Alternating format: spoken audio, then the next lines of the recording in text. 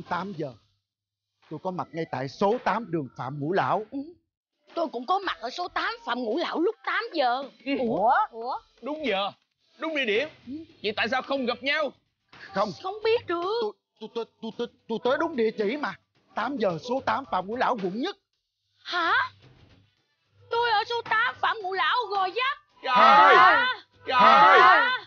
Trời ơi, chỉ vì một lý do đó thôi mà cả hai chia tay Sài Gòn lạc nhau là mất. Chỉ khác quận thôi. Mất cả đời. Trời ơi! Mày nghĩ làm sao? Mày với thằng chính nghĩa Nấu lại tình xưa. Anh chính nghĩa ảnh là chưa vợ chưa con. Còn em á, em đã có một đời chồng mà chồng em ấy chết 10 năm rồi. Con em bây giờ cũng 18 tuổi rồi. Cái đêm là mừng ngày 14 tháng 2 Tao giấu luôn. Tao không cho mọi người biết là nó bị ờ, xe đụng rồi nó bị cấp cứu rồi nó bị ảnh hưởng này nè đó nên là tao mới giới thiệu mày cho Việt Kiều rồi. Đến ngày hôm nay là mày mới được đi qua bên kia đó. À thì ra anh là cái người đâm chọt chim tía với má. Hả nói thêm nói bớt. Để cho tôi đồng ý với cái lời cầu hôn của anh kia. Ủa nếu tao không làm vậy thì đến ngày hôm nay mày đâu có là Việt Kiều mày về nước anh làm cái gì á mà cái chuyện tình cảm của em á anh quan tâm quá vậy anh hai.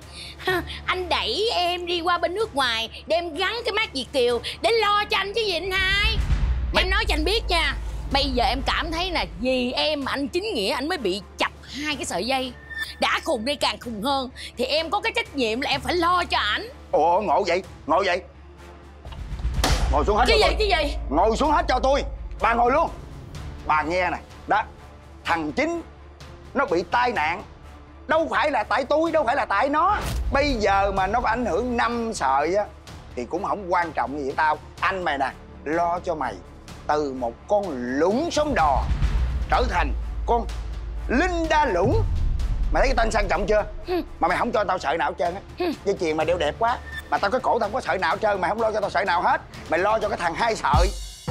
Thấy tào lao chưa? Em nói thiệt cái anh anh mở miệng ra việt kiều một tiếng mở hai tiếng việt kiều. Em nói nha làm việt kiều phải sướng nên hai. Qua bển cũng làm đầu tắt mặt tối không có ngày nghỉ cực như một con bò. Mới có tiền chứ không phải nằm ngửa ra mà có đâu rồi thôi thôi thôi thôi. Thôi tự nhiên hai anh em gây lộn nhau kỳ vậy?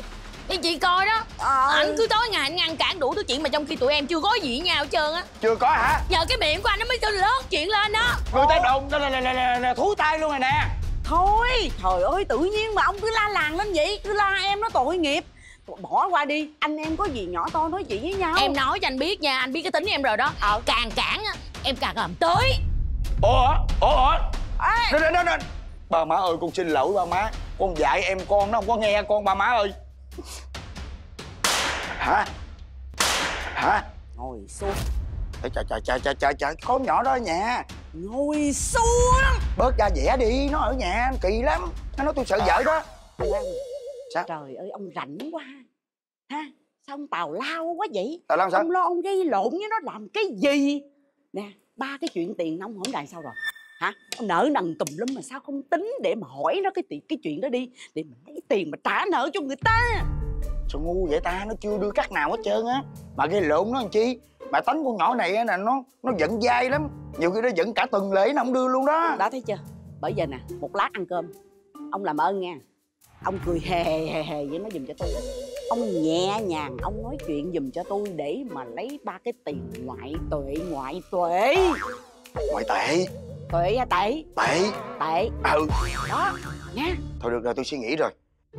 Vì tiền tôi chẳng ngại gian truân tìm cách làm lành với con Linda lũng lùn ừ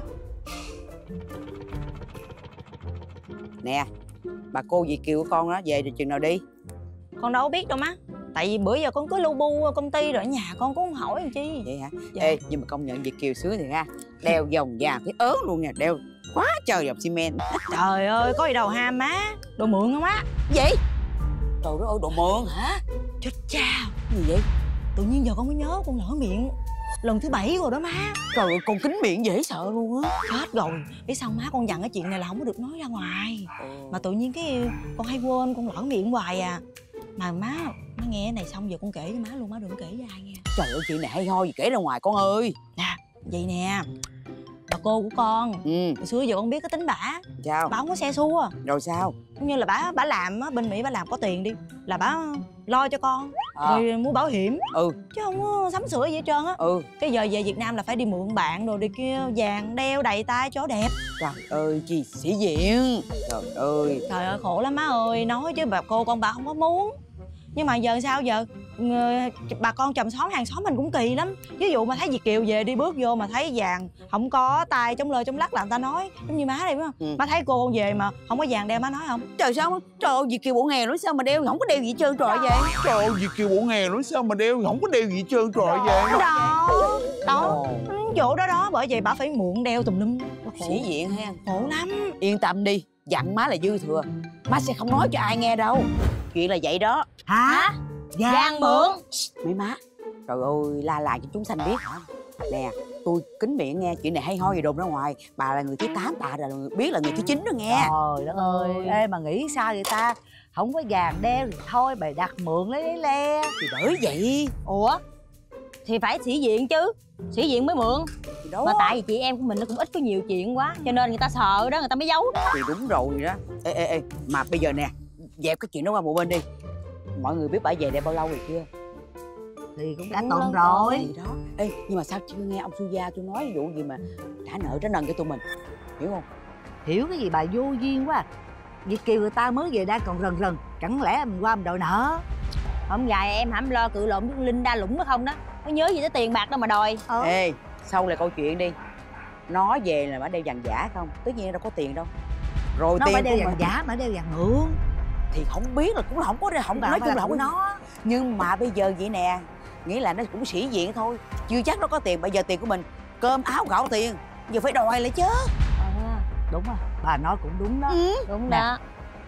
Bây giờ nó còn có tiền ừ. thì nó có thể nó ứng ra nó đưa cho anh của nó trả cho mình. Thì đó. Rủi sau này nó xài hết tiền rồi tiền đâu trả?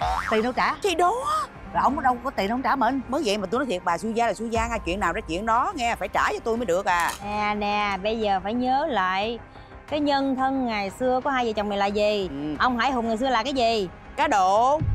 Vợ của ông ngày xưa là gì? Đá banh. Ê cái gì đá banh? Không phải xe bài. Ừ tứ xác. Cho nên chúng ta phải mau mau gấp rút. Đòi đòi nợ sớm